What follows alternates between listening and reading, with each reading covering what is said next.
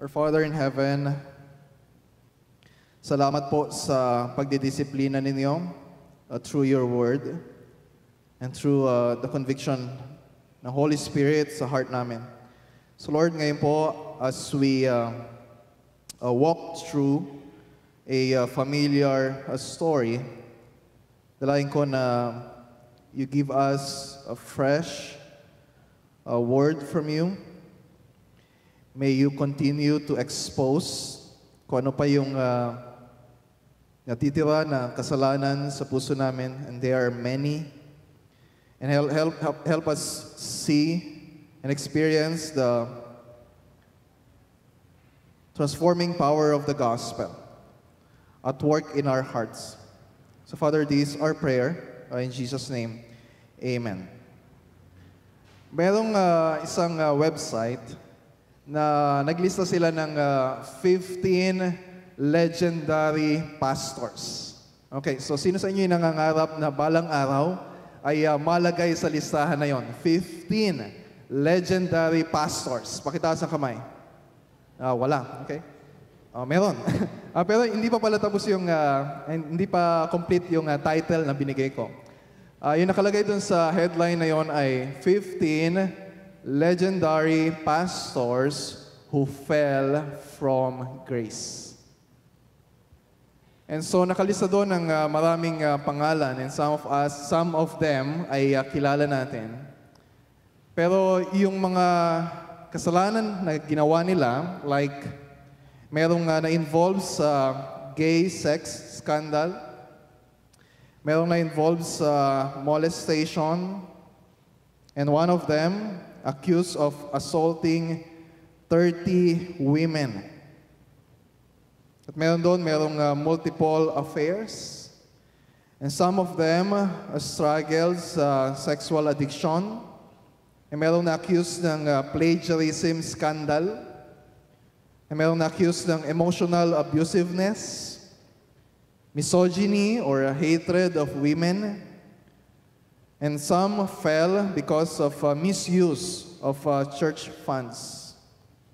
So kung mabalitaan natin yung uh, uh, mga ganong uh, scandal, kung sa entertainment industry ay hindi ganun ka-shocking.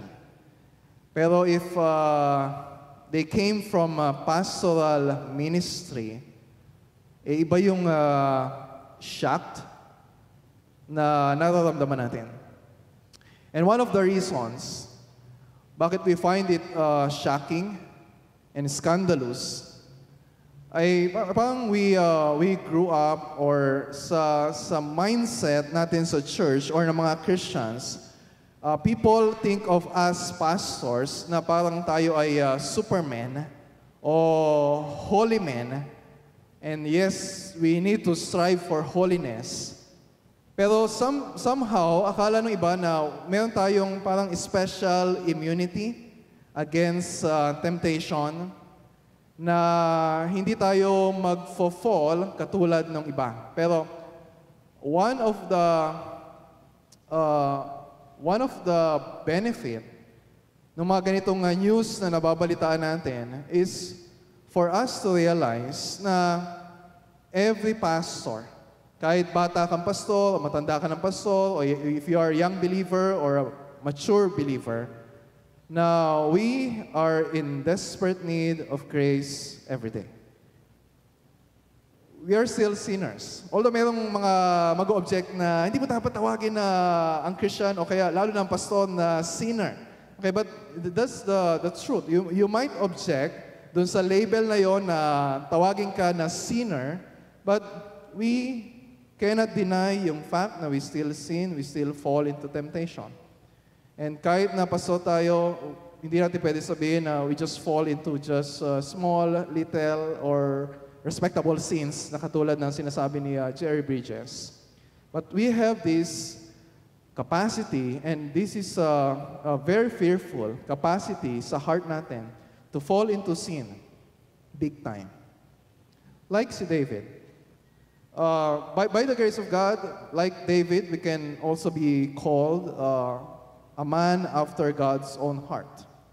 Pero like David, we have this capacity to break the heart of God. And even big time. So we are familiar dun the story sa 2 Samuel chapter 11 at chapter 12. And we are very familiar sa story na nangyari sa kanya with Bathsheba. A very familiar story.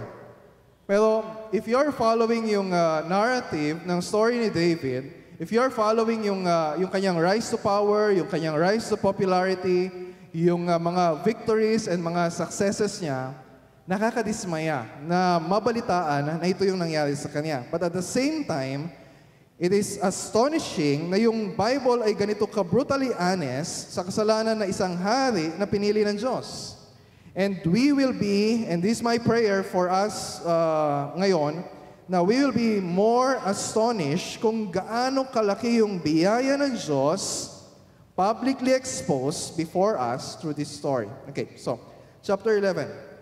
Chapter 11, verse 1. So, sa opening pa lang ng story, we can already see a problem brewing. Di ba? So, in the spring of the year, the time when kings go out to battle, David sent Joab So, lagi naman nakikipaglaban si David. Hindi siya yung uh, king na just uh, issuing a command, sige, makipaglaban kayo, sige, girahin ninyo sila.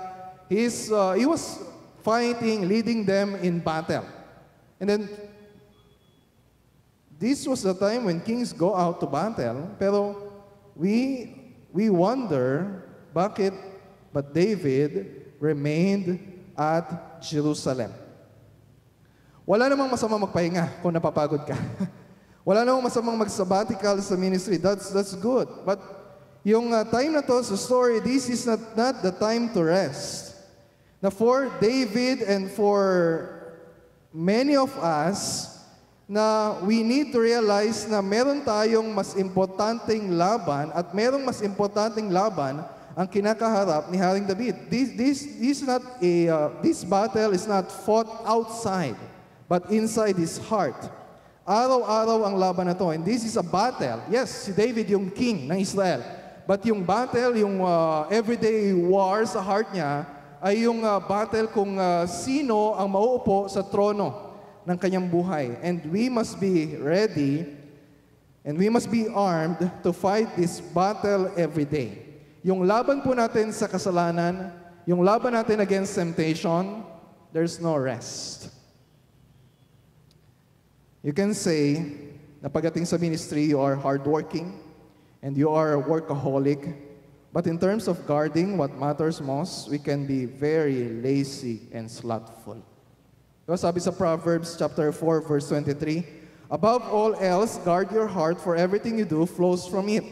Above all else, guard your heart. Di ba? Every, every Sunday, we are giving a sermon sa church natin as if we are equipping them, sending them to do battle from Monday to Saturday.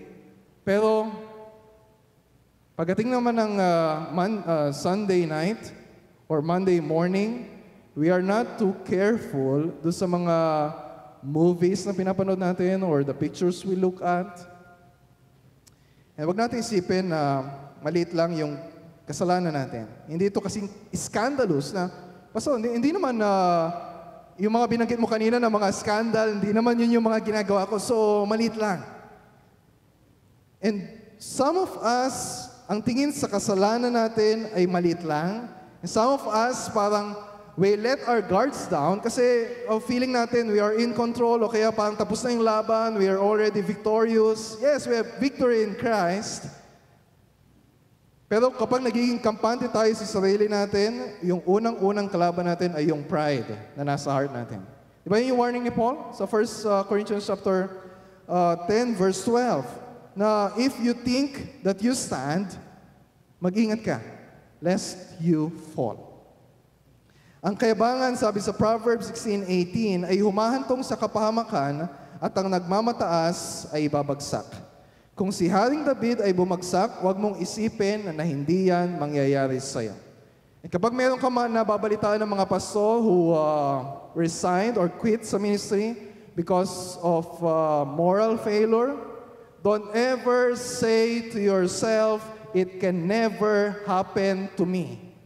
Lahat ng mga pastor na nahulog sa kasalanan at one point in their life, sinabi din nila sa sarili nila, it can never happen to me.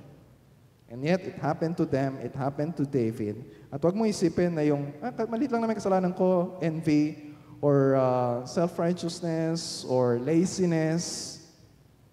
And maybe wala pang ginagawang kasalanan si David dito sa verse 1.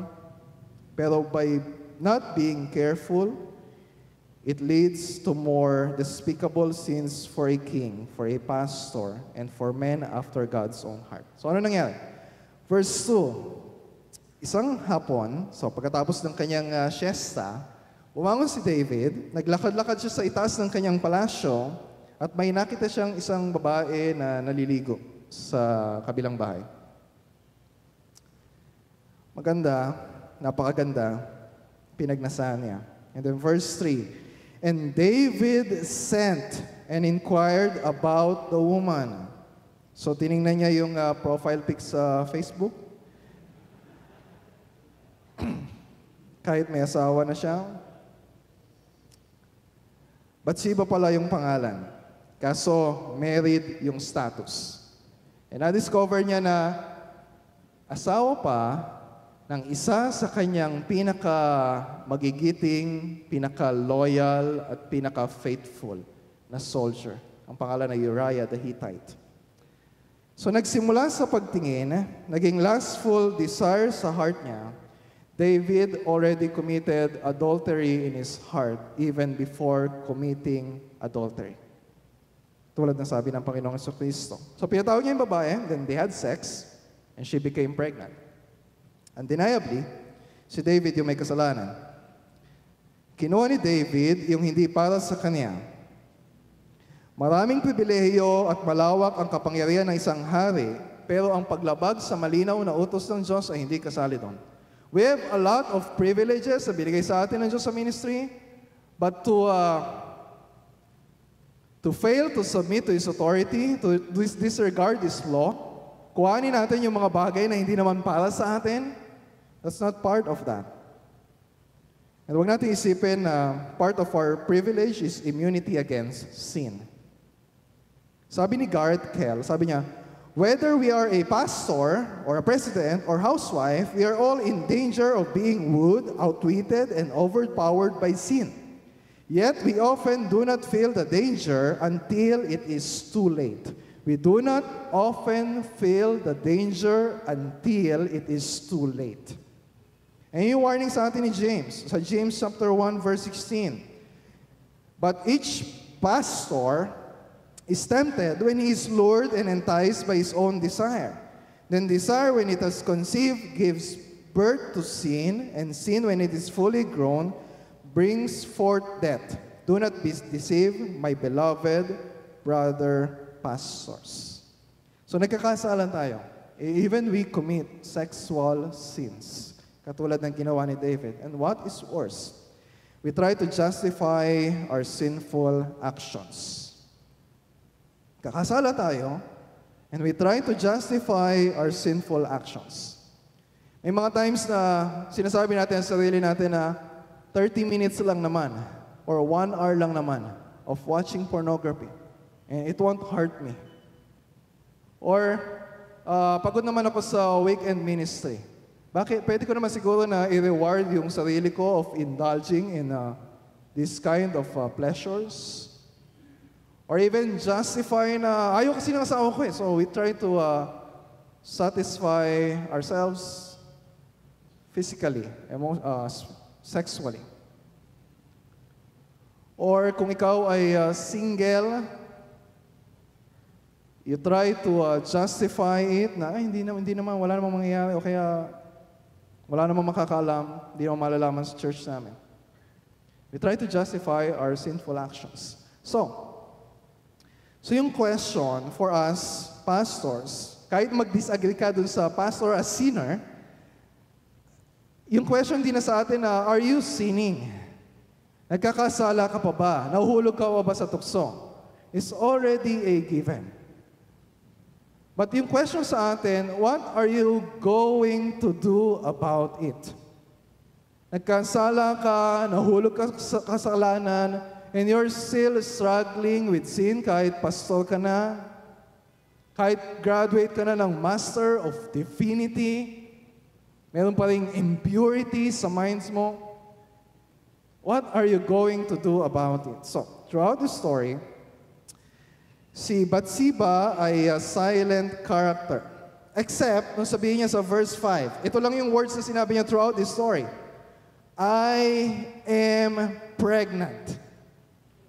And it has a lot of repercussions throughout the rest of the story. And it changed the course of history. Natatakot ako kapag uh, tahimik yung asawa ko. Uh, nasa sense ko na there's something is wrong. Di ba? Ka- kapag uh, tinatanong natin yung asawa natin na, sobrang tahimik, pa, maghapon na tahimik, walang sinasabi. Uh, sweetheart, uh, may problema ba? Tapos hindi kumikibo. Oh, okay lang, okay lang. Wala namang problema. And I feel na meron akong nagawang uh, kasalanan. May, meron isang araw na may, siguro several days, natahimik yung asawa ko. And then yung pala, she found out, she found out, so one year na kami na married noon, and nasa, nasa seminary ako noon, she found out na I was struggling with pornography. Nasimula high school and even kahit naging uh, leader na ako sa church, kahit nag-aral na ako sa seminary, and even when I started as a pastor, nakala ko na walang, uh, walang makakalam and I was so afraid of uh, confessing my sins. Then one day, yung words niya sinabi na, I know, it changed, it changed everything. Yung uh, araw na kinatatakot ko na malaman ng asawa ko, it changed everything. But no matter how hard we try to hide our sins, we cannot hide. So kung nagkasala tayo like David, dapat aminin natin. Aminin natin sa Diyos. Dapat humingi na tayo ng tawad sa Diyos. Yung sana yung ginawa niya. Humingi ng tawad sa Diyos, humingi ng tawad kay Batsiba, humingi ng tawad kay Uriah na asawa ni Batsiba, at humingi ng tawad sa bansang Israel. Pero yung karaniwan, hanggat may tatago, itatago natin. Lalo na kung nakakahiya, malalaman ng iba, it's so risky, parang yung uh, ministry natin as a pastor is at, is at risk. But instead of taking responsibility for our sinful actions, we try to deny it, we try to hide it, we try to cover it up. Ganun yung ginawa ni David. So, anong ginawa niya? Simula sa verse 6. So, David sent word to Joab. Sabi niya, send me Uriah the Hittite. And then, uh, mula dun sa pakikipaglaban, umuwi si Uriah. Tapos, kunwari pa si David na naumusta, eh, kumusta na kayo? Pero wala naman talaga siyang concern kay Uriah. His only concern is to protect his reputation. So, ang ginawa niya, Kunwari, pinapauwi niya sa bahay para sipingan yung asawa niya, tapos akalain na yung uh, pinagbubuntis ni Batsiba ay anak ni Uriah. He's doing all of this out of concern sa sarili niyang reputasyon. And twice niya na ginawa kasi every time na sinasabi niya si Uriah, hindi siya umuwi sa kanila. Buti pa si Uriah. He was not an Israelite. He was a Hittite. But he was a faithful soldier ni David. Para sa mga sundalo, malinaw yung utos ng uh, Diyos. Kapag pupunta kayo sa labanan, you should not have sex with your wives, although legitimate naman na, na nila, pero they will become ritually impure kapag ginawa nila yon. Pero kahit pinawi siya ni David, hindi niya ginagawa. Bakit? He still consider himself as on duty as a soldier. Merong laban, hindi dapat tuminto, hindi dapat magpahinga. Buti, buti pa siya, faithful sa tungkulin niya bilang sundalo. Pero si David, unfaithful. Buti pa siya, titiisin niya yung hirap sa pagkipaglaban sa mga kaaway ng Israel. Pero si David, nagpapakasarap na makuha yung nais niya, samantalang yung mga sundalo niya ay nakikipaglaban. So, yung plano ni David to cover up yung kanyang kasalanan, naging successful ba or failure? Fail. So, when we fail, sa mga times na we try to cover up yung kasalanan natin and na-discover yung uh, uh, browser history natin sa internet or kaya ay uh, merong nakaalam ng ginagawa nating kasalanan, it's an, another opportunity na binibigay sa atin ng Panginoon to respond in confession and repentance. But our heart is so stubborn, gagawin pa rin natin ang lahat ng gagawin natin para matakpan yung kasalanan natin. And leading others, na yung ibang tao pa, yung nasasaktan. Like ang nangyari kay Uriah. So, kinaumagaan, merong memo na pinadala si David kay Joab. Ah, kay Uriah. Na ibigay kay Joab. So, dala-dala yun ni Uriah, pero nakalaman, nakalagay doon sa sulat na yon ay yung instruction kung paano mapapatay si Uriah, ilalagay siya sa in front of the battle, nandun yung pinakamatinding labanan, hayaan siya na mamatay. And so, si Uriah, as a faithful soldier, daladala niya yung memo na yon na walang kamalay-malay na yung daladala niya ay yung death warrant para sa kanya. So, nakating yung kay Joab, ano nangyari? He was killed. Grabe yung anger sa heart ni David. Na pati yung loyal soldier niya ay ipapapatay niya. Nagkasala na siya ng adultery, but he still tried to cover, cover up yung adultery na yon with another sin, murder. Galit siya kay Uriah, hindi dahil sa ginawang kasalanan ni Uriah. Galit siya because he was being a hindrance sa plano niya, sa gusto niyang mangyari. And so for us, and for some of you, maybe you're struggling with anger sa heart niyo.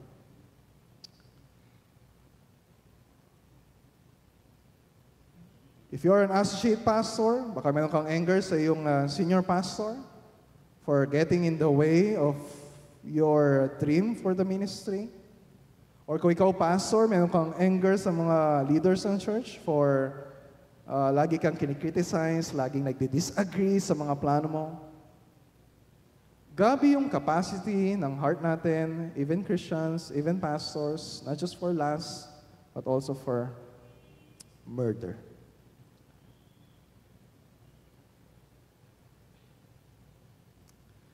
So napatay na si Uriah.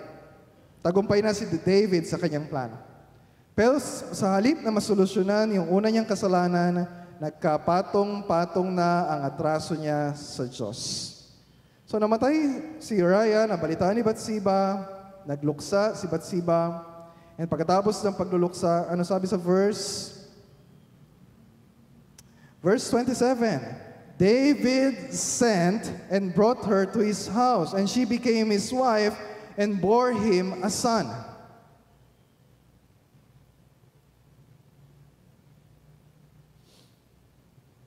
Yes, it brought pleasure to him. Nakuha niya kung ano yung gusto niya. Pero sabi sa verse 27, But the thing that David had done displeased the Lord. Literally, yung verse na yun, evil in the sight of the Lord. Pinasabi pa niya kay Joab, doon sa nangyari, don't let this matter displease you. He's trying to encourage yung kanyang, yung kanyang uh, commander na huwag ikalungkot yung pagkamatay ni Uriah. But yung displeasure ng ibang tao, that, that was not his greatest problem. His greatest problem is God's displeasure dahil sa kanyang kasalanan. Ikinalungkot ng Diyos itinu- yung itinuring niyang mabuti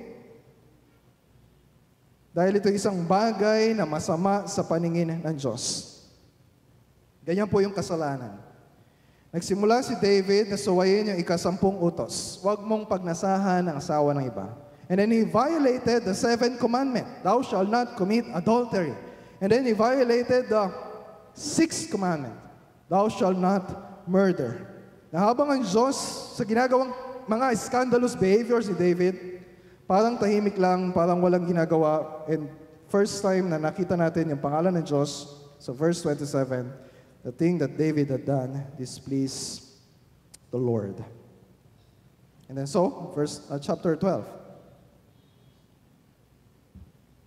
Ito na yung sisimulang ng Diyos na gawin to confront David sa kasalanan niya. And this God's disciplinary action for David. Because God treats David as a son. And then ver- verse 1, the Lord sent Nathan to David. Na, na, na, na, na, uh, na-observe niyo sa chapter 11? David sent. David sent. David sent. David was using his authority, but yung grave abuse ng kanyang authority to commit sins. Pero this time, papakita ng Diyos who is really in authority. And God will use His authority to confront David of his sin at iparamdam sa kanya kung gaano kalaki yung kanyang awa at habag at pag-ibig kay David. Okay, so pinadala niya si Nathan to confront David and then Nathan told David a story. Ano yung story? Meron dalawang lalaki, yung isa mayaman, maraming, uh, maraming baka, maraming uh, tupa, pero yung isa mahirap. Isa lang yung kanyang alaga na tupa, binili pa niya, simula pagkabata, pinapakain niya, pinalalaki, pinalaki at itinuturing na kanyang sariling anak. Isang araw, yung, lalaki, yung mayamang lalaki nagkaroon ng uh, bisita. Sa halip na pumatay ng uh, hayop na pag-aari niya para ihanda doon sa kanyang bisita, kinuha niya yung tupa ng lalaking mahirap at yun ang kinatay at inihanda doon sa kanyang bisita. Very, very obvious kung sino yung tinutukoy ni Nathan doon. Very obvious. Sino yung tinutukoy? Sino yung lalaking mayaman? It's David. Na marami ng pag-aaral, marami kayaman, marami na nga siyang asawa at this point. Hindi lang isa, hindi lang dalawa. Sino yung lalaki mahirap? Si Uriah. Sino yung kumuha ng para, para, pag-aari ng lalaking mahirap at kinuha pa sa sarili niya, ninakaw, and he abused his authority to satisfy his own pleasure. That's David. Nakita ba ni David yon? Alam niya na makasalanan siya. Alam niya nagkasala siya. But he was blind to his own sin. And we, we are so blind kahit sa sarili nating kasalanan. Ano sabi ni David? Nagalit siya. Sabi niya sa verse 5, As the Lord lives, the man who has done this deserves to die. Tapos sinabi ni Nathan sa kanya, You are that man. You are the one who deserves to die. Ang dami ng binigay sa iyo ng Diyos. God has given you the kingdom. God has given you all your enemies. God has given you a lot of promises that your kingdom will be forever. God has given you a family. Kahit yung gusto mo na marami kang asawa, pinagbigyan ka ng Diyos, kahit isa lang dapat yung maging asawa. Na lahat ng tinanggap ni David is grace from God. Na everything we have right now as pastors, they are grace from God.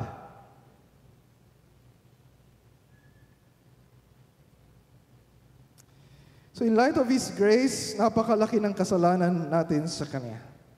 Anong kasalanan ni David? It's not adultery, not murder. Yung pinakamalaki niyang kasalanan ay yung nasa ilalim ng kasalanan na yon. The sin beneath our sins. Verse 9, You despise the word of the Lord. Verse 10, You have despised me, sabi ng Panginoon. Verse 14, By this deed you have utterly scorned the Lord. Nasa atin na yung lahat dahil nasa atin na si Kristo. So in light of that, every sin, lahat ng kasalanan na gawin natin, however small ang tingin natin doon sa kasalanan na yon, they are a great offense against God who has been so gracious to us. Siya yung hinahamak natin, siya yung binabaliwala natin, siya yung itunuturing natin na walang kwenta, walang kwenta ang salita mo, walang kwenta ang pangako mo, walang kwenta ang utos mo, walang kwenta yung mga warnings mo. We do not say that aloud to God, but we feel that inside our hearts every time we sin. So we are great sinners. At ang laki ng parusa ng Diyos para sa atin ng mga makasalanan. Verses 10 to 12. You just take time to read that.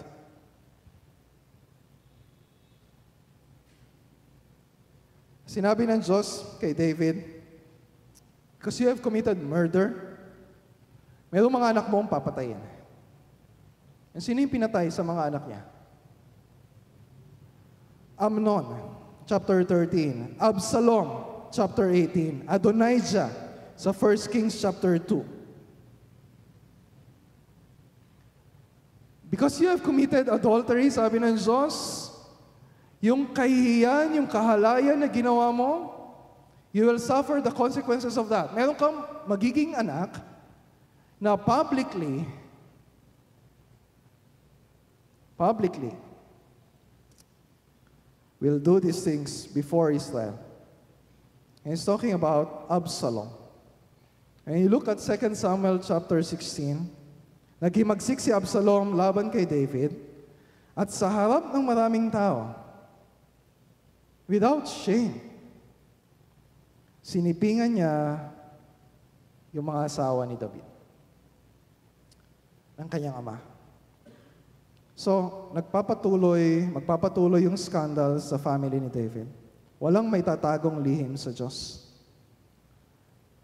Sa asawa natin, pwede natin itago. Sa ibang paso, pwede natin itago. Sa church natin, pwede natin itago. Pero kahit gaano, kaya kahit gaano kalaki yung kasalanan natin, wala tayong may tatago sa Diyos, aminin natin. Humingi tayo ng tawad sa Kanya. So kanina, uh, I shared yung time na uh, na-discover ng wife ko na I was really struggling with uh, pornography. So through the ministry of Living Waters, Nagkaroon ako ng mga kaibigan through that small group na we can freely confess our sins. So inamin ko yung kasalanan ko sa asawa ko, inamin ko yung kasalanan ko sa ibang mga kapatid ko sa Panginoon. It was very hard for me. It took me a lot of weeks bago ko sabihin yung pinakamalalang kasalanan na nagawa ko which I'm very ashamed. Yung, grabe yung depth ng shame sa heart ko. Grabe yung fear sa heart ko. Pero nung sinabi ko yon, I experienced, when I started confessing that, even, even to our church, I started what Jared Wilson called gospel wakefulness. Nung inamin ko kung gaano kalaki ang kasalanan ko sa Diyos, yun yung time that, that I experience kung gaano kalaki ang pag-ibig ng Diyos sa akin. Ano yung response ni David? Ano yung response niya? Verse 13. Very short. I have sinned against the Lord. This is not just saying sorry kasi nahuli na eh yung kasalanan niya eh. This is, this is not just saying sorry or becoming remorseful dahil sa consequences ng kasalanan. This is real, heart, humble repentance. We know Psalm 51. Di ba sabi Psalm 51? Ito yung uh, expanded version ng kanyang prayer of repentance. Have mercy on me, O God, according to your steadfast love. According to your abundant mercy, blot out my transgressions. Wash me thoroughly from my iniquity and cleanse me from my sin. For I know my transgressions and my sin is ever before me. Against you, you only have I sinned and done what is evil in your sight. Against you, you only have I sinned. Hindi niya binabaliwala, hindi niya sinasabi na wala siyang kasalanan kay Uriah, wala siyang kasalanan kay Bathsheba, wala siyang kasalanan sa Israel. Pero sinasabi niya na, Lord, yung kasalanan ko first and foremost against you. Nagkasala ako sa iyo. I have offended you. I have rebelled against your authority. Yun ang kasalanan. And yun yung paghingi ng tawad sa kasalanan. That's true repentance. When we recognize na yung kasalanan na nagawa natin is not just a mistake, It's not just an affair. It's not just an, a fantasy. Hindi yung dahil tao lang tayo. Hindi yung dahil nagkakamali lang tayo. But we have offended God who saved us. So, when we confess our sins, wag lang natin sabihin na, yes, I look into pornography. Yes, I fantasize about other women. Yes, merong uh, anger sa heart ko. You all also confess yung unbelief under all those sins. Na you fail to believe that God is great. You fail to believe that God is good. You fail to believe that God is sufficient for your every need. And here's the good news. When we confess, alam natin ito eh. Sinasabi natin to sa prayer of confession natin when we lead our church a prayer. If you confess your sins, He is faithful and just to forgive our sins and cleanse us from all unrighteousness. And so, ano yung response ng Diyos? Verse 13. Verse 13. Look at verse 13. Ano sabi ni David? I have sinned against the Lord. Tapos sabi ni Nathan, sabi ni Nathan, The Lord also has put away your sin. You shall not die. Ang kabayaran ng kasalanan ay kamatayan. Hindi lang isa, kundi patong-patong ang kasalanan ni David sa Diyos. He deserved to die. And we all deserve to die. We all deserve God's judgment dahil sa mga kasalanan natin. And then sasabihin ng Diyos, The Lord has put away your sin. You just imagine. Just imagine. Sa isang courtroom. Tapos merong judge dito, tapos merong nililitis na rapist, o kaya plunderer, o kaya mass murderer. And sobrang, uh, sobrang uh, clear na nung proof na he was guilty. Tapos sasabihin ng judge, you're free to go. Malaya ka na. How, how would you react kung kayo yung witness doon? That's outrageous. That's a mockery of justice. Outrageous yung forgiveness ng Diyos sa atin in light of our sins against Him.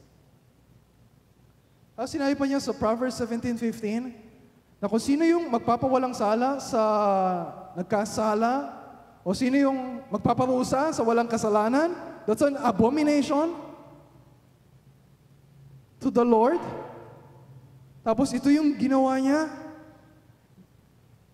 Grabe kung gaano ka-scandalous yung biyaya ng Diyos sa atin. I will just say to us, God has forgiven your sins. Ay, ito yung mas scandalous. Tingnan yung sumunod. Nevertheless, verse 14, Because by this deed you have utterly scorned the Lord, the child who is born to you shall die. Namatay nga yung kanyang anak. And what's, ano yung problem doon? What's the problem? Wala namang kamalay-malay yung kanyang anak doon sa kasalanan na ginawa niya kay Batsiba, tapos yung kanyang anak ang pinarusahan na mamatay. Is God, was God being unjust in this story? Si David yung dapat mamatay. Parang, he was, parang mas pine-favor ba ni David, ang, ang Diyos, ng Diyos si David? Was God being unfair? This is God being gracious. Although it's hard for us to understand, pero you need to look beyond this story. Namatay yung anak ni David. And then, nagkaroon sila ulit ng anak ni Bathsheba. Verse 24.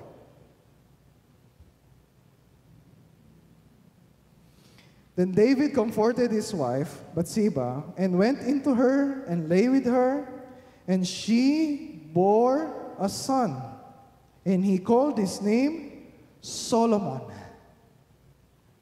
And the Lord loves Solomon and sent a message by Nathan the prophet, no, uh, bibigyan ng bagong pangalan, si Solomon. At yung pangalan ay Shedidiah. Ang ibig sabihin, beloved of the Lord.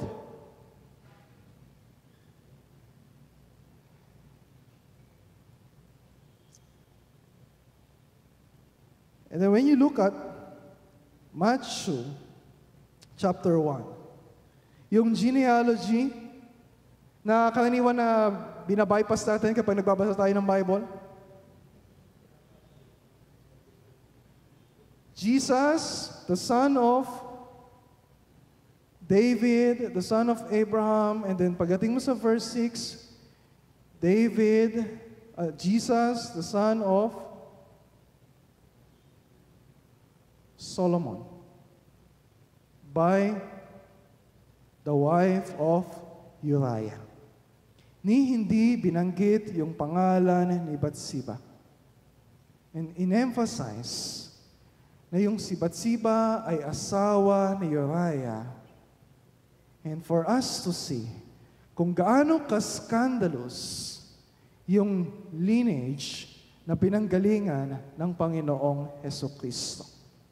And out of that scandalous sin na ginawa ni David came about God's outrageous grace for us sinners.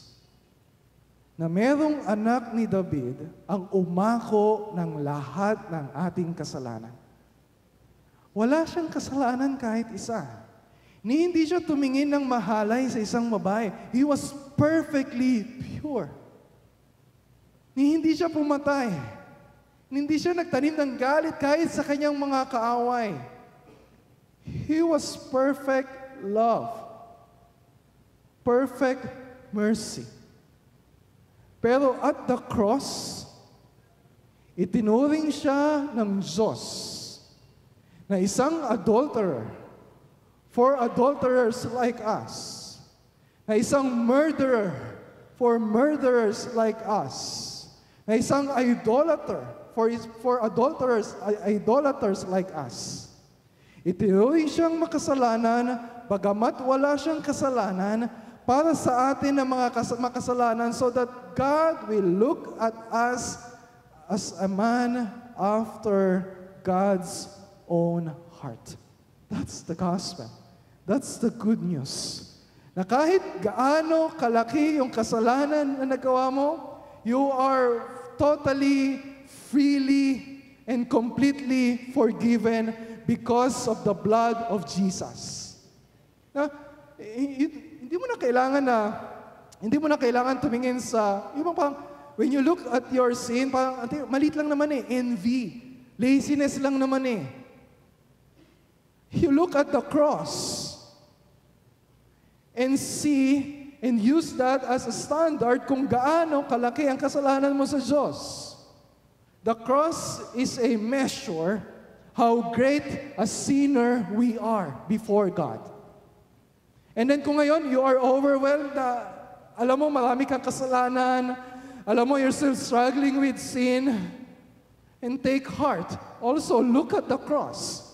Kasi at the cross, it's also a measure kung gaano kalaki yung pag-ibig ng Diyos sa atin. Na the blood of Jesus has covered every sin, every shame. Wala na tayong dapat ikatakot when we confess our sins. So we can confess our sins to our wives, we can confess our sins to our fellow pastors, our brothers. And we can admit na tayo din ay great sinners before God. Sabi ni Paul Tripp, Pastor, there's nothing in you. So wala kang dapat ikatakot. There's nothing in you. Yes, risky, yung confession. There's nothing in you that could ever be exposed that is not already covered by the blood of Jesus. Hindi mo kailangan pagtakpan, hindi mo kailangan pagtrabahuhan. You no longer need to prove yourself. We rely on Christ's finished performance on the cross on our behalf. And that's the good news. And maybe some of you, Parang feeling ninyo na nadapa kayo sa kasalanan, parang nasubsob na yung mukha ninyo sa kasalanan, eh, parang hindi na kayo makabangon.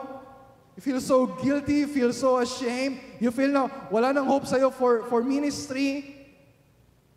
Do you know the end of the story sa chapter 12? Ano yung start ng story natin?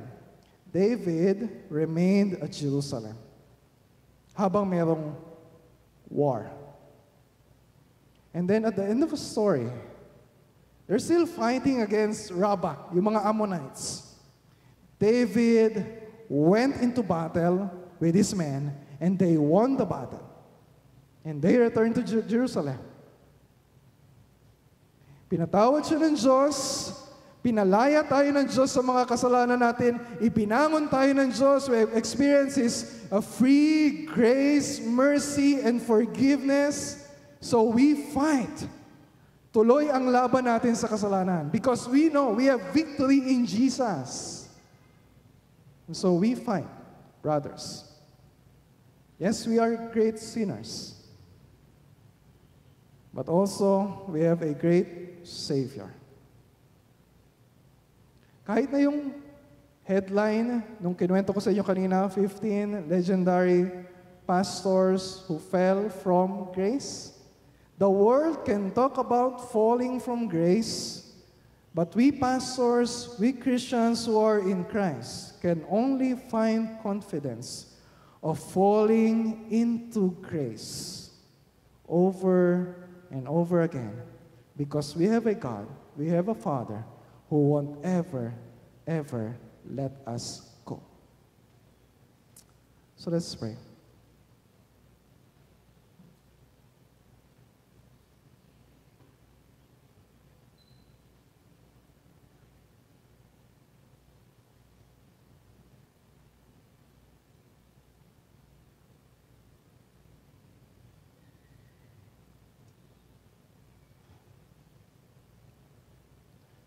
Our Father in heaven, narito po kami na mga makasalanan na naligtas dahil sa biyaya mo. Patuloy na nakikipaglaban sa kasalanan dahil sa pamagitan ng biyaya mo. And we are confident that we are going to finish this race as we look to Jesus the author and finisher of our faith. Tulungan mo po kami, Panginoon, na magkakapatid kay Kristo na lumaban sa kasalanan, to admit our sins, and to experience more of your grace and mercy for us every day. This is our prayer in Jesus' name. Amen.